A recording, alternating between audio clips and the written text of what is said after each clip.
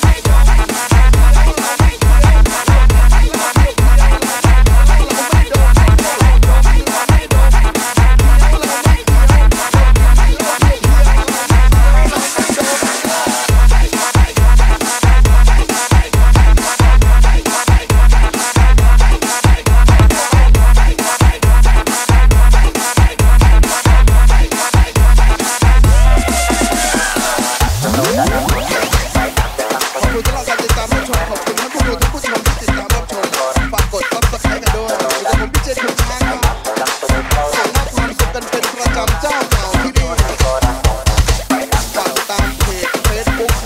มพ์ไปว่จขุนช้างเจอกันไลฟ์สดเนประจำทุกๆค่ำคืนฝากน้องผมไปคนหนึ่งดีเจขุนทองนะติดตาม